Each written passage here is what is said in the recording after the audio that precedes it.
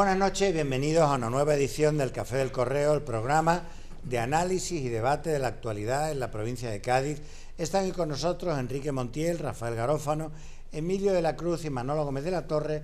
El primer elemento de debate que le planteamos a nuestros invitados es la concejala de Servicios Sociales del Ayuntamiento de San Fernando, que fue grabada por una familia eh, mientras les inducía a ocupar una vivienda propiedad de un banco que estaba vacía, animándoles a que entraran en esa vivienda con el argumento de que el banco no procedería a su desahucio, sino que con posterioridad les pondría un alquiler social como habría ocurrido, eh, como había ocurrido en otras ocasiones.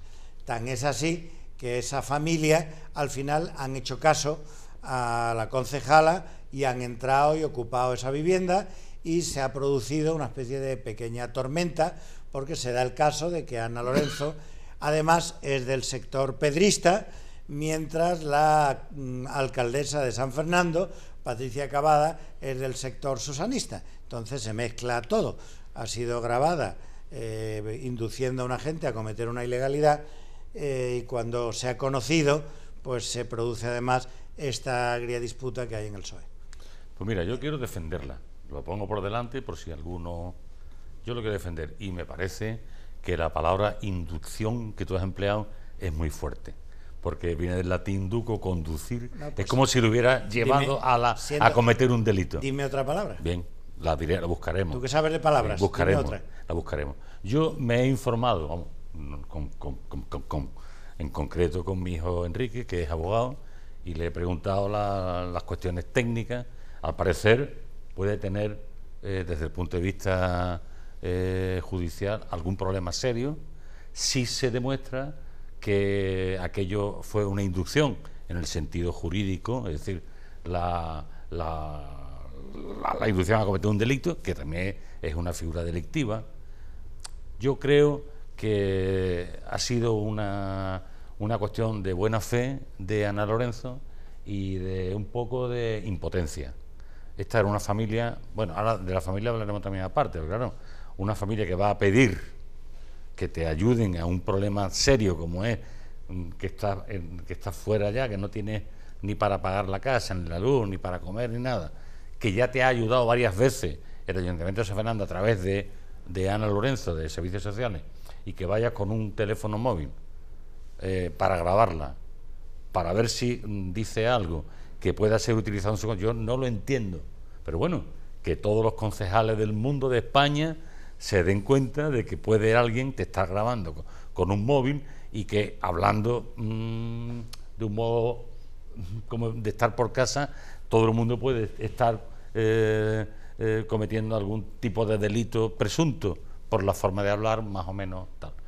Yo creo que esto es una historia con la que están luchando continuamente todos los concejales de todos los partidos que gobiernan y que llevan asuntos sociales ante una problemática pavorosa de alguna familia que es que van allí porque es que no tienen dónde ir, es que ya mm, han agotado Caritas, han agotado las reservas de, de, ayudas sociales, han agotado todo y van a ver a la concejala a ver qué puede hacerle, porque en algunos casos se trata que no tienen ni para comer ese día y tienen hijos pequeños, los que, sí, la problemática es pavorosa.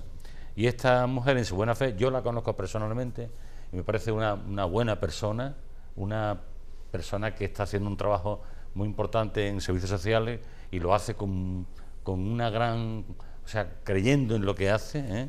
y que se ha encontrado con este marrón enorme que ya digo que, según me ha dicho mi hijo Enrique, puede tener consecuencias penales si se produce, y que incluso me ha dicho Enrique que la Fiscalía puede incluso actuar de oficio, pedir la, grabación y a la vista de la grabación, que es una grabación que se hace sin consentimiento, además, ella no consiente tal, pero dice Enrique que no importa, que a efectos de tal, que no importa, y que, y que puede tener problemas serios penales, y que bueno, que ahora aprovechen esta coyuntura para, como es pedrista, como su madre, el grupo de Rafael Román, pues querer sacarla del gobierno de Patricia Cavada, que es de mayoría susanista, bueno, eso es lo menos, para mí lo menos más importante, que es una persona que de buena fe ha, cometido una torpeza, ha cometido un, un hecho que, claro, evidentemente tú no puedes decirle a una persona, mira, tú vete allí, rompe la puerta, entra en la casa, porque entonces el banco no sé qué y tal, y esto es una fórmula para que entre un alquiler social, ese tipo de cosas, que además tampoco hace falta que se la diga, eso lo sabe todo el mundo. Todo el mundo que está en, en la fase desesperada de hacer una ocupación sabe todo esto, ¿no? Entonces ya digo, es una... Si, si, hay, si hay gente que, que cree que, que, es una comecura o es una, una persona, eh, eh, no es verdad, es una, una persona muy sensible y una persona muy llana y muy preocupada con un, con un gran sentido social y de, y, de, y de ayuda a la gente que lo necesita, que ha estado haciendo en San Fernando un gran trabajo en su área y que ahora le ha ocurrido este, esta desgracia que la verdad espero que salga bien que salga con bien, como diría mi amigo Gulló de esto. ¿no? Rafael. Bueno, mi intervención va a ser muy breve y es, yo acepto todas y cada una de las razones que ha dado Enrique y debe dimitir e irse a su casa. Es decir, porque mmm, en política, en política, mmm, los buenos sentimientos, la empatía con las personas que tienen problemas, todo eso son valores, pero después el político tiene que saber la línea que no se puede franquear. Y es de carácter jurídico. Y muchas veces va esa línea jurídica, que lo hemos hablado aquí algunas veces, va incluso contra los sentimientos, más todavía, puede ir contra el sentido común pero es la razón jurídica y es la ley. Te he dicho lo que ha dicho Enrique, ¿no? que el fiscal de oficio puede perseguirla. el fiscal, ¿eh? Pero es que si no va el fiscal, el Partido Popular ya ha dicho que lo va a llevar. es decir, que si incluso el fiscal no se movilizara porque tiene otros temas, el Partido Popular le va a poner encima de la mesa el asunto. Así que otra cosa es que lamentamos muchísimo, lamentamos muchísimo, primero, la forma de actuación impresentable, despreciable de las personas que van a solicitar a, las instituciones públicas ayuda o asesoramiento o consulta. Que ya la han recibido, y, además. Y van con una grabadora para, ¿no? Es decir, van con una grabadora para. Es decir, para utilizarlo como arma, mm, suceda lo que suceda. Es una, actuación villana, ¿no? Eso sin, sin el menor género de duda. Y después, la comprensión por ese tipo de cosas. Pero Mm, política, mm, ese tipo de asuntos, se puede lamentar, pero no se pueden hacer. Yo, para no ser redundante, porque por supuesto estoy en la base de acuerdo de lo que dice Enrique y también tú, porque entiendo que hay esa, esa faceta de buena voluntad, pero que al eh, haber una situación jurídica que te lo impide, pues para eso está la política. Cuando uno mete la pata, pues tiene que dimitir. Ya está. El problema es que aquí se habla de las dimisiones cuando se supone que es algo muy importante. No, no, la, una, una, tragedia. Claro, una tragedia la, las dimisiones tienen que dar cuando uno no es congruente, porque, ojo, has tenido mala suerte ese día, ¿no? Mm. Lo hemos tenido aquí en caso de Cádiz, de, del, acordaros del concejal de, de Medio Ambiente, que el hombre, por meter la pata en un pleno, y sin embargo, todo lo que ha sido aspecto después de fiscalía y tal, ha salido todo el tema, eso es normal, pero hombre, el hombre, pues yo me parece óptimo, dimitió, como es el nombre que normal, has metido la pata y dimite. Bien. Pero para no ser redundante con lo que decís, yo creo que aquí lo que tiene que profundizar, y tenemos que profundizar sobre todo los que están en el equipo de gobierno y los equipos de gobierno de aquellos que en este caso con el Partido Socialista me dirijo más a Podemos, ¿no? Ha habido una gran campaña en su momento que yo creo que, que nos hemos sensibilizado todos, ¿no? La situación de los desahucios. Lo que ocurre es que los desahucios, que ya vimos aquí nuestro alcalde, que quiso seguir un poco la, la estela de la campaña, y en cuanto tuvo un desahucio, pues tuvo que echar marcha atrás.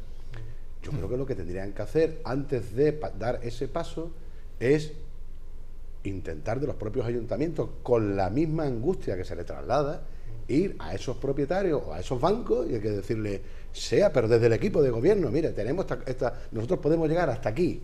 Ustedes incluso conocen esta situación que se hace ilegalmente. Dennos ustedes algún cupo. Es decir, yo estoy convencido porque muchos bancos que que otra cosa que la ley. Lo han hecho en algunos ayuntamientos claro, pues eso es lo que hay que hacer, eso es lo que hay que hacer. Hacer las cosas, hacer las cosas bien, hacer las cosas bien. Y yo creo que, que, evidentemente mm, para mí lo peor de todo, lo que ha hecho esa familia, que eso es lo que va a suponer es que posiblemente lo vayan a pasar mal otras familias, porque ya cuando vaya la gente por otra cosa, pues el que está enfrente, pues dirá, mire usted, esto es lo que dice la ley, y ni siquiera le de una palmadita, porque no va a ser que si la palmadita va a suponer que haga usted otra cosa. Exactamente. A mí me gustaría tratar eh, este tema desde, desde otra vertiente, mm, porque mm, eh, he visto eh, esta noticia, en la que en este caso se, se acusa a, a, una concejal del Partido Socialista de, de, haber tenido una actuación que podría de alguna manera inducir a, la, a un delito, a la comisión de un delito. Pero hoy he leído en, otro medio de comunicación eh, eh, de, la capital, ahora no recuerdo si diario o la voz, en el que eh, se dice que una trabajadora de la Delegación de Asuntos Sociales le había comentado a una persona que había ido a solicitar ayuda y que ya también estaba desesperada y eso, que si quería una ayuda solo había dos soluciones, o se iba de Cádiz, porque aquí es muy difícil conseguirlo, o tenía dos hijos, porque siendo familia numerosa, pues podía eh, tener eh, acceso a más ayuda. Y esto entonces, claro, poniendo en relación una cosa con la otra, a mí me alerta en lo siguiente. No vaya a ser que las instituciones, ante la impotencia de dar solución para los problemas eh, que tienen los ciudadanos, que es en definitiva para lo que la gente eh, los elige y en definitiva lo que sustenta eh, la política institucional representativa y a la vista de que yo no puedo solucionar el, eh, el problema, le traspaso al individuo que se las avíe, yo le doy algunas pistas, y que se las avíe por su cuenta. Esto sería retroceder en el tiempo los eh, movimientos obreros, los sindicatos nacen precisamente para que el individuo no tenga que enfrentarse en solitario a los problemas que se le plantean, en este caso en el ámbito laboral. Y las instituciones representativas nacen para que el individuo vote aquellas opciones que se supone que le presentan un programa para solucionar sus problemas y en función de eso, desde la institución, se le da, eh, se intenta dar solución a los problemas. No que ante la impotencia de que, como yo ya no puedo, pues mira, empezamos a, mm, tú si puedes, yo te voy a decir, eh, como decía Gila, alguien ha matado a alguien, mm, eh, si puede hay unas casas vacías, en el otro sí, hombre, pues si tú tuviese... Creo que la Marbella de Gil cogían a los, mendigos eh, y le pagaban un billete a, otro pueblo. retroceder mucho, retroceder muchísimo y además crear verdaderos problemas porque mm. eso visto así, pues imaginémonos el, individuo que está en la ventanilla de un banco, que conoce la situación penosa que tiene el que viene eh, allí y le insinúa cómo puede solucionar sus problemas al margen de lo que puede ser la, ley. Eso es lo que me parece que habría que tener en cuenta porque supondría una dejación de la responsabilidad que tiene. Porque esa concejal lo que se supone que debiera haber hecho, y aquí se ha planteado, es, bueno, si ella sabe que hay viviendas que son vacías, que pertenecen a bancos, bueno, pues muévanse esos resortes, váyase a, a entrevistarse con el banco, mm, vea uno al delegado, de la, al delegado provincial de vivienda, alerte uno al consejero, etcétera, etcétera, etcétera, hasta encontrar una solución que ofrecerle al sujeto.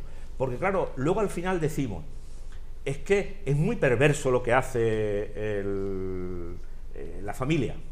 Bueno, pues la familia lo único que hace es que ante la desesperación, y supongo que habrá escuchado, oye, pues allí a veces te dicen esto, ah, bueno, pues, pues yo lo voy a coger para ver si por aquí luego me puedo aprovechar y de... Eh, lo que, lo que se llama lo lastimoso, lo lastimoso de cuando las situaciones llegan a ese extremo. Por tanto, yo creo que efectivamente es una responsabilidad eh, grave la que contrae esta concejal, pero sobre todo, sobre todo porque no puede iniciarse el camino de trasladar a los individuos la solución de sus problemas como ellos lo crean conveniente, porque de ahí a que cuando se comete un delito eh, de, violación de un hijo, que, alguien te insinúe que mira, como el sistema eh, judicial funciona como funciona, pues mira, este individuo suele pasar todos los días por tal sitio. Claro, Es que Pero vamos, te- no, eso lo, no puede lo que yo quería insistir no es que ella ser. no es una insurgente en el sentido de que tal, no puede ser. Ella es una persona realmente que es, es- es muy empática con la gente pero que- y que, y que, pero y que lo que dice Rafael ha cometido ese error y bueno, que, que- que- que es grave que se empiece Pero que ella no desde es las una- instituciones vale. a, a- a- a dejar claro, si la es que- responsabilidad en manos si de los le- eso le individuos. puede pasar No, a cualquiera. Claro, a cualquiera. Sí, A los que hemos estado en cargos públicos hemos sufrido muchas veces esta situación de presión, Angustia. de, de tener, a veces, a veces, incluso teniendo medios y teniendo medios por una parte y, necesidad, y necesidades por otra. Y no, no haber posibilidad de casarlas. Y, no, no, es que este dinero que hay no es para eso, es que para... Bueno, pero esto es prioritario, será prioritario, pero tú sabes Mira, cómo, cómo y- terminan y- muchas veces estas cosas, ¿no? y- Y, y después otro, otro tema, Manolo, que, que también está sucediendo, ¿no? Mm, ¿Cómo están cambiando, cómo están cambiando las relaciones de los cargos públicos con, con las personas, tanto si vienen a los ayuntamientos, a las instituciones a pedir ayuda, o los temas laborales, etcétera? El otro día me enteré que en el ayuntamiento, después de ciertas experiencias lamentables, los funcionarios empiezan a no recibir a ciudadanos. Ah, bueno, sí, empiezan sí. a no recibirlos. Sí, sí, sí, sí. Así, no, no, es que si lo recibes, mm, puede venir con una grabadora o puede venir con una propuesta que te meta en el lío, que después lo utilice como arma para forzar una decisión. Mira, do- es que al final, do- do- si los ciudadanos no se pueden manifestar abiertamente con sus representantes eh, municipales, si los funcionarios están en esa situación, la cosa dificulta muchísimo la vida pública. dos, eh, dos cosillas. Una, uh, con eh, anécdota. Mm, Se cuenta que, que- que, eh, en los primeros tiempos de la Compañía de Jesús, cuando un jesuita iba a entrevistarse con un cargo político para tratar sobre un tema, diríamos, terrenal, iban dos. siempre iban dos. sí. La compañía la ordenaba iglesia- que fuesen en- dos. En la iglesia en, Eh, que general para lo, que eh, lo mismo da se- uno que otro. ¿eh? se- no había eh, Claro. no y, y un para que hiciesen de testigo de lo que allí pudiese tratarse y por, luego un- se pudiese por una cosa del eh, antiguo derecho cambiar. romano que decía unus testis non testis y- un testigo no, no vale tiene que ser otra dos. cosa. Eso es latino eh. Habiendo dejado claro mi posición en, en este tema, lo que mm, me gustaría también es eh, dejar claro la hipocresía del Partido Popular cuando se rasga las vestiduras ante cómo que en un despacho un cargo público es capaz de inducir algo irregular. Que eso Otro- lo diga. otro que eso lo diga. Inducir. Que eso lo diga una persona que pertenece a un partido en el que el ministro del Interior se reunía con el fiscal jefe de Cataluña y le, y le preguntaba y le decía cómo se podían arreglar las cosas para, ah, de alguna manera, penar a los partidos independentistas, pues me parece cuando menos una hipocresía y gorda. Sí, pero es que esa que pasa que lo del Partido Popular es que es para nota, es para nota, porque parece que cuando mm, eh, los años que está uno en el gobierno, como han estado en muchos casos, veintitantos años, y en otras ciudades, vamos, en cualquiera, ¿no? te tiene que dar una perspectiva de que vas a estar en la oposición, que tienes la información de lo que ha sido, lo que ha sido el gobierno y el poder, y después tener un cierto comu- un sentido común en la, en la oposición. Pues curiosamente está ocurriendo, igual que dicen todo eso, en otro municipio, mm, que resulta que inversiones, situaciones importantes, eh, por ejemplo, con tema autoridad portuaria y ayuntamiento del puerto, bueno, pues se están poniendo más allá de Podemos. Y cuando Ahora, claro, el mejor municipio pues, de la esto- semana es el de Calasparra no me digáis que eso no es un Bueno, municipio Luego hablamos ¿eh? de Calasparra. Pero bueno, ¿Verdad ¿por qué, que por- sí? por qué me tiene que cortar a mí? Bueno, Entonces se me va la Vamos a hablar de Ángel León. he dicho Calasparra y has pensado ya ah, que quería conocer vuestra opinión a raíz, sobre todo, de unas declaraciones de otro chef, Jordi Cruz, donde Que no es mi primo. venía un poco a decir que, que los becarios que tenía sin, eh, sin que les pagase, trabajando en sus fogones, en su cocina, que tenían que estar agradecidos. ¿no? Quizá a raíz de eso, no lo sé, publica este domingo el Confidencial un informe sobre cómo viven los becarios que trabajan también sin cobrar en Aponiente, que Ángel León los tiene, eh, les da para dormir pues un piso donde viven hoy son 15 becarios en literas y los tienen allí un poco, el confidencial le llamaba en un piso patera y los vecinos se quejaban, el propietario se quejaba y entonces, bueno, ha salido ahí Ángel León a decir que esos son insidias, eh, etcétera, etcétera. ¿no? Poco... Yo he Bueno, visto, pues- yo he visto la, la foto en tu blog y es que no tiene defensa. Es que yo, yo creo que Ángel León no tiene defensa. O sea, tú puedes tener becario. Es decir, Lo que yo no puedo. tiene defensa son las fotos que están absolutamente sacadas de contexto y todo. Pero bueno, Hombre, ma, que me quieres cortar tú a mí ahora. ¿no? hombre, tenía, tenía que te la debía. No, bueno, pues yo continúo con, con la venia. Eh, no tiene defensa. Yo puedo estar de acuerdo en, en algo, ¿eh?